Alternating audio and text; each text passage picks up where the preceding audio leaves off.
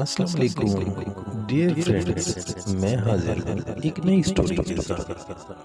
तो आज हम एक इस्लामिक स्टोरी आपको सुनाने जा रहे हैं। एक बादशाह सलामत का दरबार लगा हुआ था। हाजतमंद यानी जरूरतमंद जो थे वो लाइन में कतार में आ रहे थे। बादशाह हर की दरख्वास्त पर हाजतमंद की यानी जरूरतमंद की ख्वाहिश के मुताबिक हुक्म फरमा रहे थे। और ढेरों दुआएँ समेट रहे थे। इतने में एक सौदागर आया और वो बादशाह सलामत। के सामने हाजिर होकर कहने लगे कि आपको खुश करने के लिए मैं आपकी खिदमत में चंद गुलाम लेकर आया हूँ। अल्लाह करीम आपके वकार को बुलंद वाला करे मैं चंद गुलाम आपकी पेश करने के लिए लाया हूँ। आप इन्हें अपने पास रख लीजिए और जो गुलाम आप पसंद फरमाए अपनी खिदमत में उसको हमेशा के लिए रखें। मैं जानता हूँ कि आपके पास गुलामों की कमी नहीं है। एक से बढ़कर एक गुलाम आपके दरबार में हाजिर है।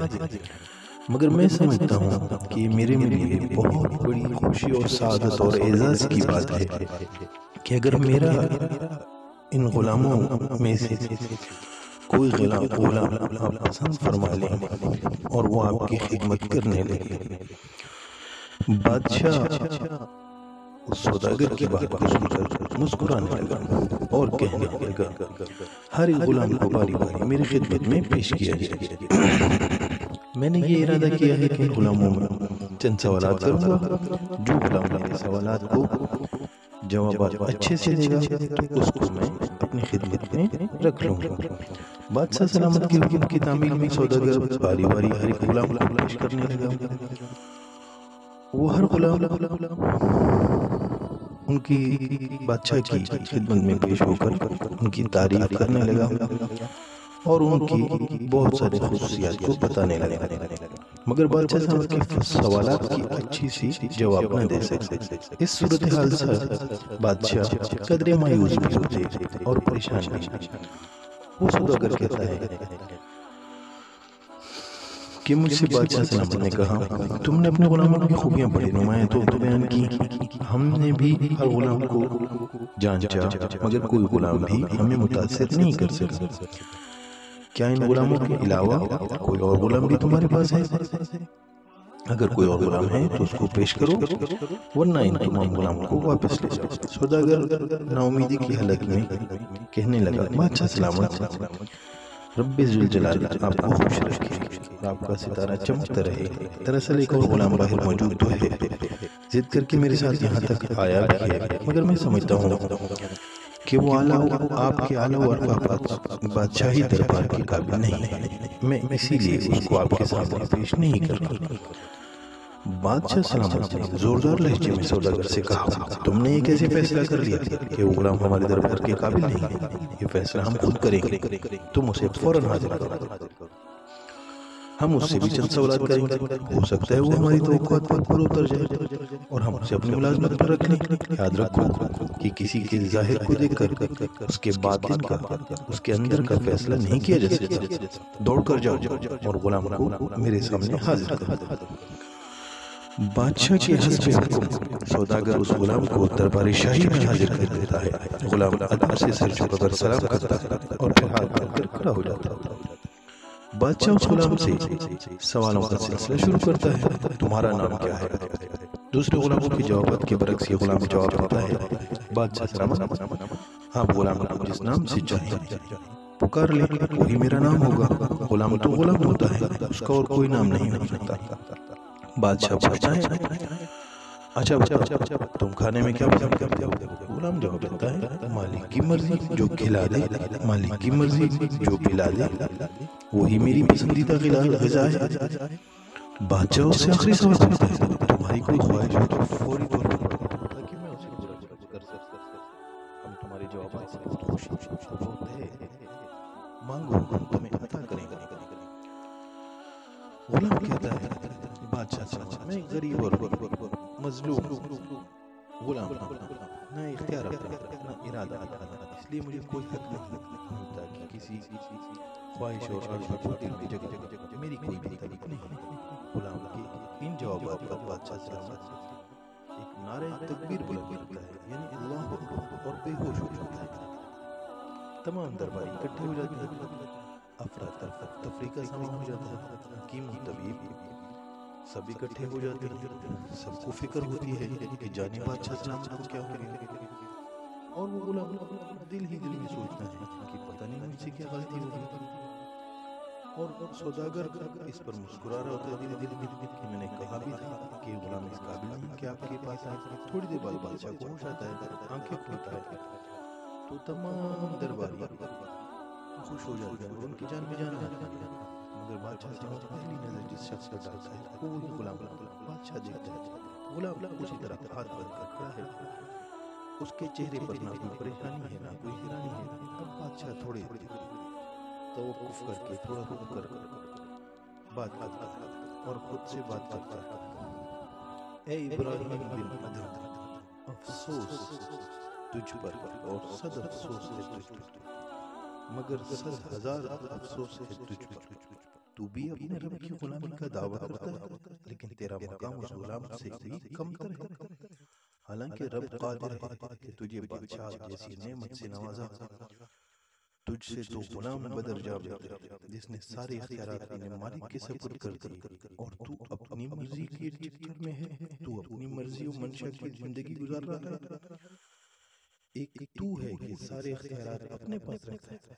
अगर चे बादशाह सलामत बल्ख के सुल्तान अजीमुल मर्तबा मुराद इब्राहिम बिन अदम ने इस गुलाम को अपने मुकर्रीन में शामिल कर लिया।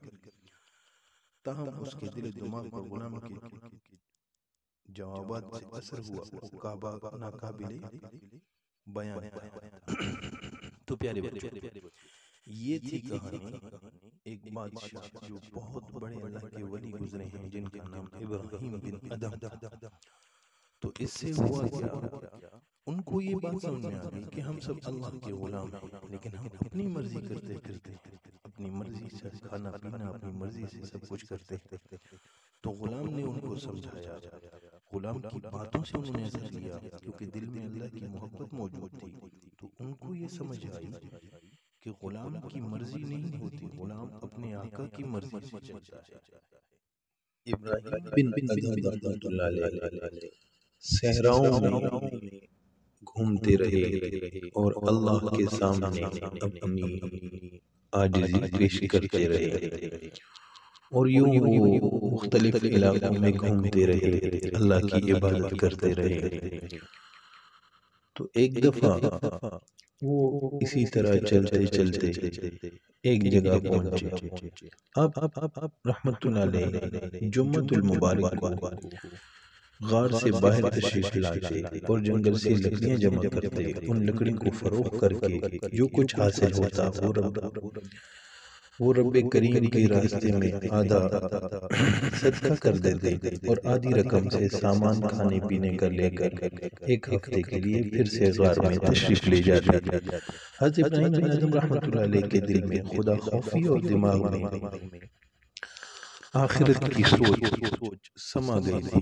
अब रहमतुल्लाह दुनिया की ताजो तख्त और शाहाना जाहु जलाल को छोड़कर महल से रातों रात तारीकी में निकल आए लिबास आम सा पहना और गुलामों के कपड़े पहनकर मजदूरी की तलाश में निकल आप रहमतुल्लाह चाल ढाल से कोई पहचान नहीं सकता था कि आप बादशाह हज़रत इब्राहिम बिन अदम मुख्तलिफ़ इलाकों में मुख्तलिफ़ लोगों से मिले और मुलाजमत और मजदूरी करते रहे अपनी ज़रूरत को पूरा करने के लिए। एक दफ़ा वो रास्ते में जा रहे थे। आप रहमतुल्लाह के जिम्मा एक काम दिया गया कि एक बाग की रखवाली करें। किसी शख्स को कोई फल चोरी ना करने दें चाहे फल जाया होने से बचें और परिंदों को भी उड़ा दें। वो बाग इंतहाई खूबसूरत था। रंग रंग के फूल भी थे किस्म किस्म के फ्रूट। यानी फल भी थे। इब्राहिम नदम रहमतुल्लाह हर वक्त अल्लाह की याद में मशगूल रहते और अपने फ़राइज़ को सर अंजाम देते उनके लबों पर यानी उनके होंठों पर हमेशा अल्लाह की याद रहती और बाग की चारों जानब चक्कर लगाते रहते आप रहमतुल्लाह अलैह इंतहाई दयानतदारी खुलूस और लगन के साथ अपने फ़राइज़ को निभा कर अल्लाह का शुक्र अदा करते रहते बालिग बाग के मालिक को कतन ये इल्म ना हो सका कि जिस शख्स को उसने अपने बाग की खिदमत पर मामूल कर रखा है। वो बादशाह वक्त हैं यानी इब्राहिम बिन अदम एक रोज हज़रत इब्राहिम बिन अदम बाग के दरख्तों को पानी दे रहे थे। कि दूर से आप रहमतुल्लाह अलैह ने बाग के मालिक को आते देखा आप रहमतुल्लाह अलैह अपने काम में मसरूफ रहे। बाग के मालिक ने कदरे करीब आकर आवाज़ दी। आप दौड़े हुए उनके पास पहुँचे फरमाए।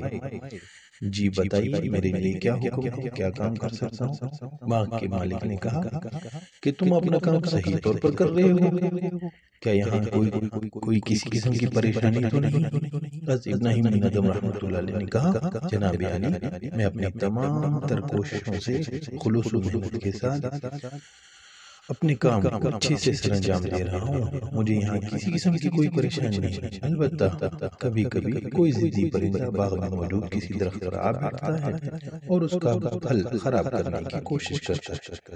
तो मैं अपनी पूरी कोशिश से उसको उड़ाने की कोशिश करता हूँ। जब तक कि वो परिंदा उड़ न जाए बाग के मालिक ने कहा बहुत खूब अच्छा याद आया ये बताओ अनारों के दरख्तों पर अनार पक कर तैयार हो चुके हैं हज़रत इब्राहिम बिन अदम रहमतुल्लाह ने जवाब दिया जी जनाब अक्सर अनार पक चुके हैं। इन दरख्तों का फल अब उतारने के लिए मुनासिब है। आपके मालिक ने कहा अच्छा यूँ करो दौड़ कर जाओ और एक इंतहाई मीठा अनार तोड़ कर लाओ ताकि हमें इस अनार का जायका पता चले कैसा है?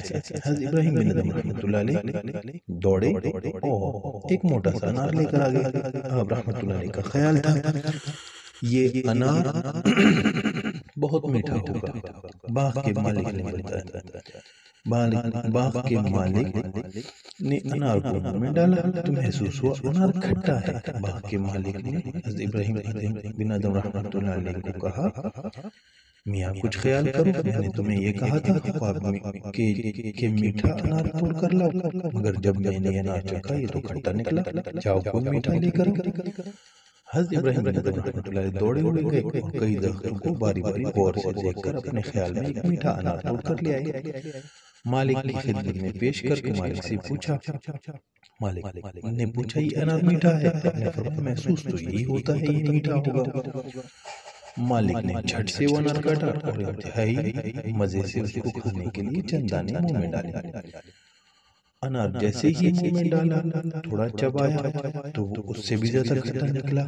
इस इस दफ़ा मालिक के चेहरे पर गुस्से के आसार आए। और इब्राहिम बिन अदम रहमतुल्लाह ने बुलाया मियाँ तुम कैसे शख्स हो? तुम मैं मीठा अनार लाने को कहता हूँ और तुम खट्टा लेकर आ जाते जाओ कोई मीठा अनार लेकर हज़रत इब्राहिम बिन अदम रहमतुल्लाह फिर गए खूब जान पड़ताल के बाद देखने के बाद एक अनार लेकर आए लेकिन ये अनार भी मीठा न निकला। अब अब के क्या हुआ? कि जब वो अनार दूसरा लेकर आए तो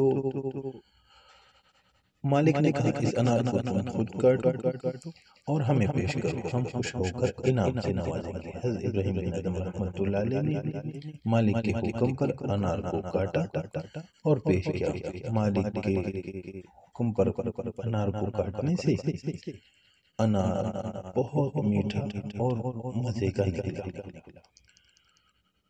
लेकिन मीठा निकलने की बजाय वो फिर से खट्टा निकला और इतना खट्टा कि पहले से भी ज़्यादा था। तो मालिक गुस्सा हो गया। हमने तुम्हें इसलिए मुलाजिम रखकर रखा है कि मीठा अनार भी पेश न कर सको तुम्हें यहाँ बाग में रहते हुए इसकी रखवाली करते हुए इतना अर्सा हो गया मगर तुम्हें इतना भी आज तक पता नहीं चला। कि मीठा अनार कौन सा है और खट्टा कौन सा है? तो हज़रत इब्राहिम बिन अदम रहमतुल्लाह ने फरमाया जनाब अली आपने मेरे बाग बाग की निगरानी मेरे सपुर्द कर रखी है। मुझे कैसे पता चलेगा कि ये मीठा या फीका क्योंकि मैं अमानत में खयानत नहीं कर सकता अल्लाह इस बात को पसंद नहीं करता। तो मुझे जैसा लगा उसको महसूस करके मैंने यही देखा कि ये मीठा होगा। तो हज़रत इब्राहिम बिन रहमतुल्लाह अलैह का ये जवाब सुनकर बाग का मालिक बहुत खुश हुआ कि वाह कितने मुत्तकी और परहेज